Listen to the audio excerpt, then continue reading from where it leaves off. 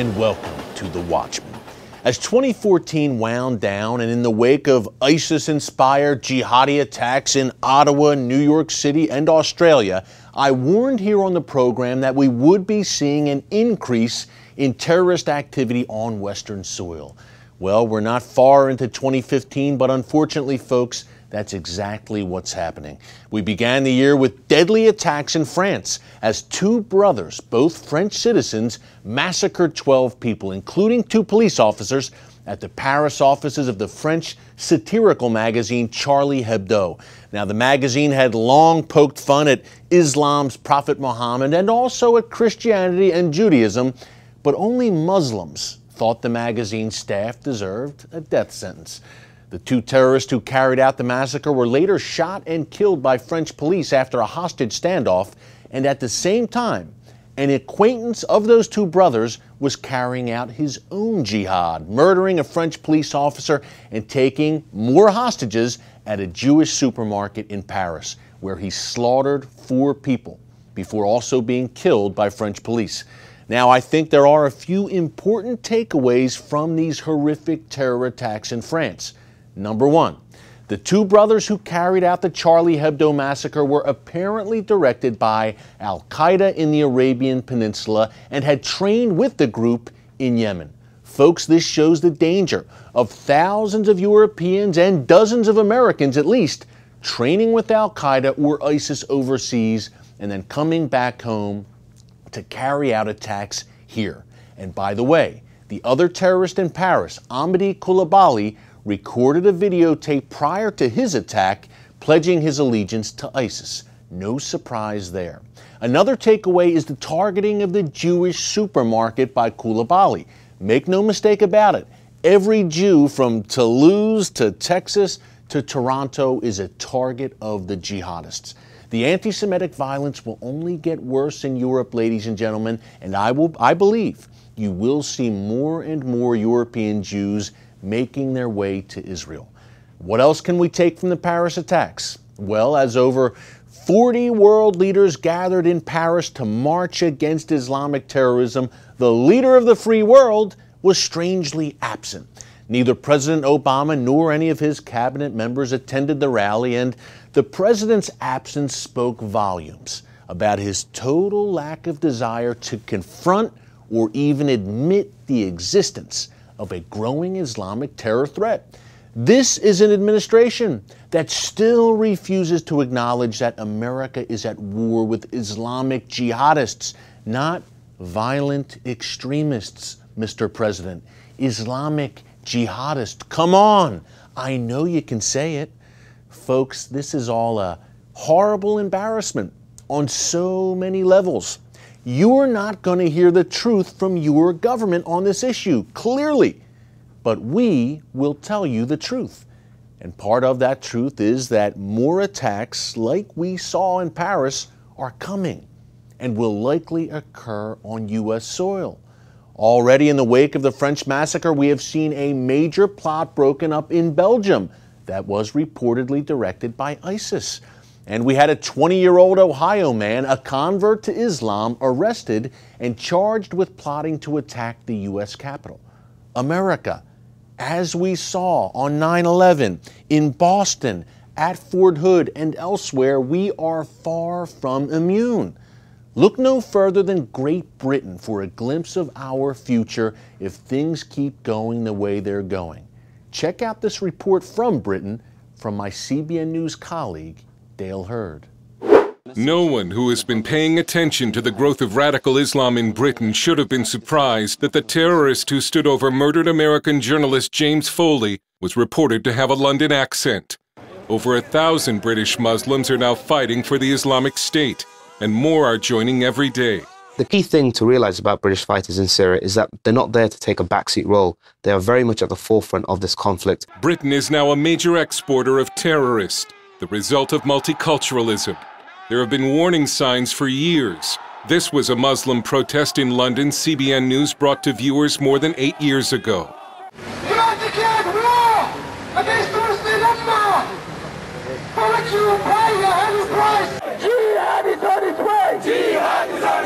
Today, Britain has functioning Sharia courts, and Sharia patrols enforce Islamic law on some of its streets. Remove yourself away from the mosque. Go away from the mosque now. Muslim, area, Muslim patrol. Uh, this is a Muslim area. Are you not wanted around here? Islamic halal food is everywhere, and Islam is today the fastest growing religion in the UK. I actually gave up a modelling career for Islam, and I'm that's the best choice I've made ever. Even though Muslims are a relatively small minority in Britain, there is a feeling among some British that their nation is being handed over to Islam that the government doesn't care about promoting traditional British values, Judeo Christian values, either because it doesn't believe in them anymore or because it doesn't want to be labeled as intolerant. British civilization has been a gift to the world, but the British don't care so much about their own civilization anymore, and it's into this vacuum that Islam is advancing. Sure, the British still care about their queen and tradition, but radical Muslims have been allowed and even encouraged to build a parallel society within this officially Christian nation.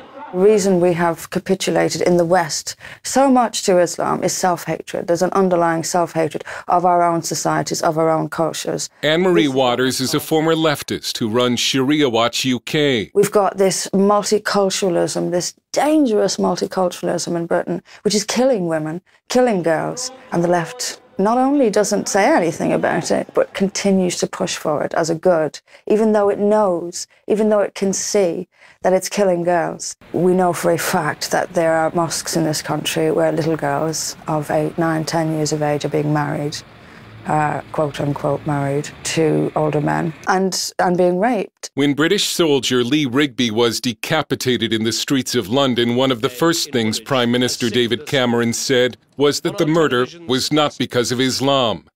After the Foley decapitation, Cameron said it again. And to be sure, many British Muslims have condemned the murder. As a Muslim, you know, I, I feel it's, it's, we shouldn't do it. I think it's disgusting. I think that a lot of extremists have taken over and hijacked Islam. We come back to this, it's only a tiny minority of extremists, it's got nothing to do with Islam, but the point is, this stuff is coming directly from the Quran, from the Hadith. Muslim immigrant sex grooming gangs were covered up by the British police for 20 years. The British government's weak response to radical Islam has led to the formation of citizen groups and protest movements like the English Defence League and Britain First. Britain First goes into the street to confront Sharia patrols and has horrified the British establishment for having the nerve to go into mosque to pass out Bibles to Muslims. And now, there's a nice British Army Bible. Spread the word of Jesus Christ around Bradford. Okay. Amen. Jesus Christ our Lord, we want to save you from hell. We reject the false prophet Muhammad okay. and read the Bible. The chairman of Britain First is Paul Golding. This is a Christian country. Our heritage is Christian. Uh, we take it very seriously. We hold it dear. Um, so, giving out Christian Bibles in a Christian country on British streets to people who are British citizens, we don't see anything wrong with that. Is there, have you looked around for any threats at all? But when we were with Golding, he was dodging the police, who seemed to view him as a troublemaker. The British government is going to have to decide whether it cares more about being viewed as tolerant or about stopping terrorism. Because the whole world is now paying the bill for Britain's experiment in multiculturalism. Um, and we have got to start dealing with this. We've got to say, look, we have freedom of speech. You can't beat up women. We won't stone people to death for their sex lives. You have to accept that, or you can't live here. Thanks, Dale. Coming up, is there a way out of this mess with Islamic jihadists? Dr. Michael Youssef discusses that and his new book, Jesus, Jihad, and Peace, after the break. Stick around. And welcome back. For years, Dr. Michael Youssef of Leading the Way Ministries has sounded the alarm about the Islamic jihadist threat. Now, Dr. Youssef, who is a native of Egypt, has written a new book explaining where it all fits in end times prophecy. The book is called Jesus, Jihad, and Peace, and it is a fascinating read. Dr. Youssef joined me recently to discuss it. Take a look. Well, Dr. Youssef, thanks so much for joining us. You know, we, we you, you, come to us today. It's it's very very timely because we just saw a horrific terror attack unfold in Paris, obviously, with jihadists gunning down 12 people. Yep. Dr. Youssef, is this the new normal here in the West? Can we uh, expect much more of this? I, I just heard some security expert, uh, thank you for having me, Erick, uh, uh, was saying that this is probably going to become a weekly event around the world somewhere because, uh, particularly uh, now that Al Qaeda is in competition with uh, ISIS, mm-hmm. and ISIS trying to tell their followers, go for a lone wolf things and, and just do your thing. You don't mm-hmm. have to get orders from us. And so that is the word out now, activating all the sleeper cells around the world. And in, in fact, uh, you know, England, uh, uh, uh, uh sadly, uh, I believe it's not going to escape. neither will we unless we take a strong stand. And we haven't taken that stand, Dr. Youssef. You talk about in the book how you were raised in Egypt. You were raised around Muslims. Dr. Youssef, you, you know the Muslim culture intimately. You've been on the ground uh, dealing with Muslims. What are we here in the West missing when it comes to Islam and jihad? In, in a word, the truth. the truth is really the victim in this whole debacle. Mm. As long as we live in denial, or we deny the truth, or we try to gloss over the truth, we will never get to the bottom of it. When Reagan said, uh, Soviet Union is an evil empire. I'm going to mobilize everything within my power in the Western world to uh, defeat it. Uh, the world rallied and defeated the Soviet Union. Yes.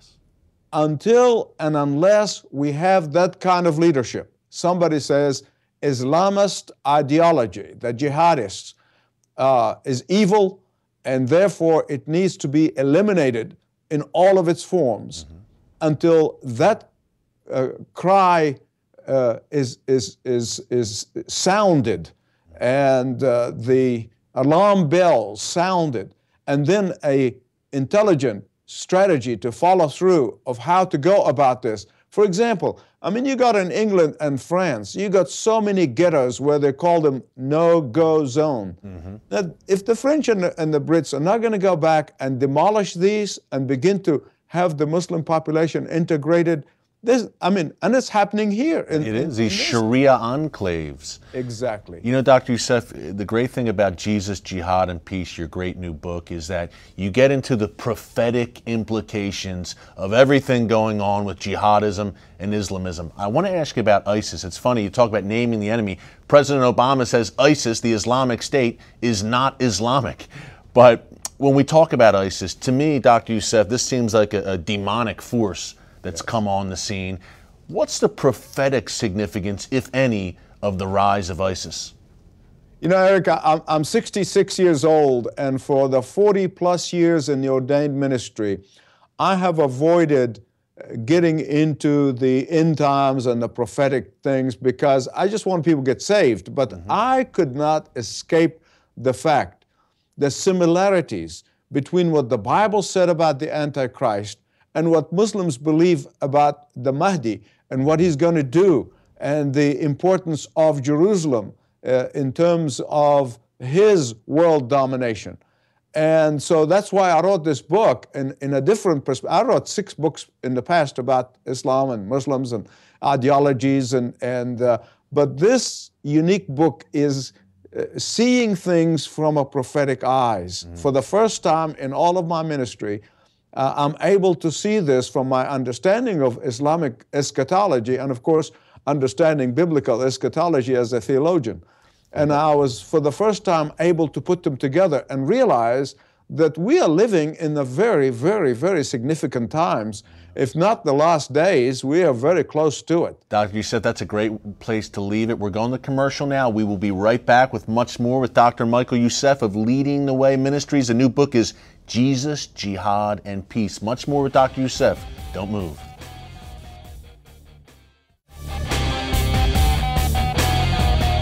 And welcome back. We're talking to Dr. Michael Youssef of Leading the Way Ministries. That's leadingtheway.org, author of the blockbuster new book, I would say, Jesus, Jihad, and Peace. And Dr. Youssef, one of the great things about the book is you get not only into biblical prophecy, but you get into Islamic prophecy. And you mentioned before the break the Mahdi. We've talked about the Mahdi a lot on this show, the 12th Imam. Uh, a lot of people view it as an Iranian thing, a Shia 12er type thing. But tell us more about the Mahdi and, and Islamic prophecy and how some of these things, uh, I don't want to say are coming true in terms of Islamic prophecy, but we're seeing some signs here.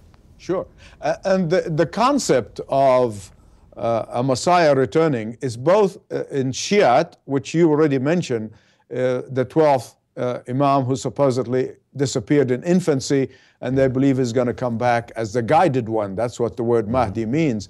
But also in Sunni Islam, uh, they believe that Jesus himself is coming back mm-hmm. at the end times, and that he will declare himself a Muslim.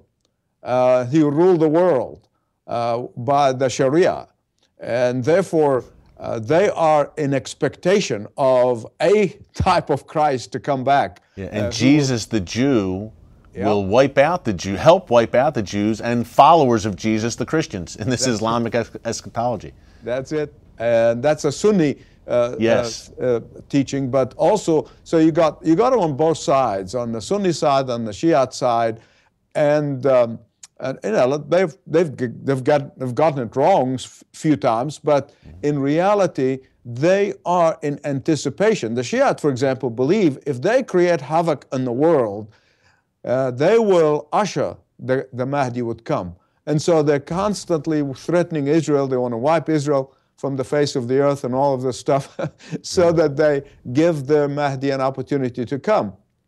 The Sunnis, uh, on their part, also believe that when Jesus comes, he's going to come back and he's going to reign and rule from Jerusalem, but he's going to reign and rule as a Muslim, uh, that he will call people to Islam.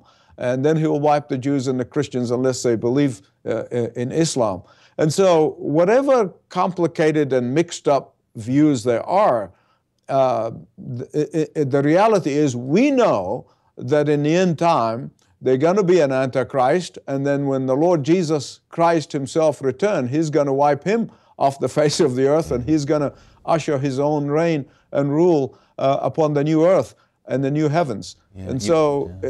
it, the, the, the message today is so clear uh, for everyone who does not believe that no matter where you are, you can come to the Christ of the cross now because the very one who hung on that cross, when he comes back, he's going to sit on the throne and he's going to be reigning and ruling with an iron scepter. So, uh, it, it, my messages always have been, always will be until the Lord takes me home, is the centrality of the Lord Jesus Christ and the importance of people coming to Him and not be misguided by all the false teaching that's going around. Yeah, you know, Dr. Youssef, you mentioned Israel. And I believe there's a chapter in the book called All Roads Lead to Israel. And how true is that? Talk about Israel as we see this unfolding now. We're in some interesting times. Yeah. Uh, talk about the centrality of Israel to biblical sure. prophecy and, and, how we see it all unfolding right now. Sure. Uh, uh, let me start by saying about the misguided people who think that if Israel does not exist, uh, or if Israel got wiped off the face of the earth, that we in the West will not have uh, this uh, trouble with Muslims, that really the only reason they hate us is because of our support to Israel. That is a fallacy. Mm-hmm. It is an absolute fallacy. If Israel does not exist, they would still want to go kill us and, and dominate right. the world for, for Allah. But uh, Israel plays many, many important roles. Of course, prophetic role uh, as, as the end time and the gathering, and then there, many of them will turn to the Lord Jesus. But also, Israel uh, plays a very, very important role in terms of holding at bay uh, the progress of Islamic extremism. Mm. And there's some misguided people in Israel itself uh, who are uh, fighting against Netanyahu and, and trying to say, oh, if we make peace with the Palestinians, we give them all these territories, that we will be safe. But you know, at least I know that Netanyahu knows better. Yeah, and he and many of his advisors understand the mindset of uh, Islamization of the entire, not just Middle East, but also the entire world. We're going to come back with some final thoughts from Dr. Michael Youssef of Leading the Way Ministries. The book is Jesus, Jihad, and Peace. Stay tuned. And welcome back. We're wrapping up with Dr. Michael Youssef of Leading the Way Ministries. The book is Jesus, Jihad, and Peace. You know, Dr. Youssef, this is obviously heavy subject matter, and I'm writing a book about ISIS now. It's the darkest thing I've ever written about. Yep. Uh, but there is plenty of encouragement, and that encouragement is found in the Word of God. Give us some things that we can be encouraged about as we take on this major, major Islamic jihadist threat. You know, we are seeing thousands upon thousands of people coming to Christ uh, from all walks of life, from prominent people who are saying, We are sick and tired of people saying Allah Akbar and then they kill us. Uh, we want to know about Jesus and we want to know about His love for us. And, and, and this is really the only hope we have is the gospel of Jesus Christ. A prominent businessman in this country read the book and he called me and said, I'm deeply concerned about your safety. I said, No, Listen, when, if there's enough my life here, I go with, be with Christ. I'm not afraid. I am not fearful at all of what happens because we, as believers in the Lord Jesus Christ, know that our citizenship is in heaven.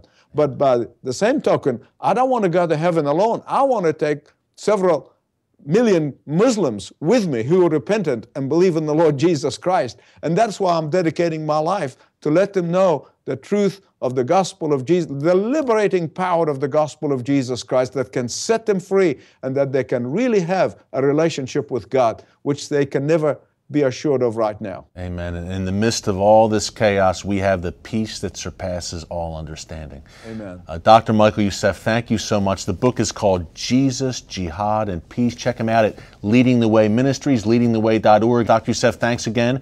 And until next week, from The Watchman, thank you, God bless you, and remember, never hold your peace.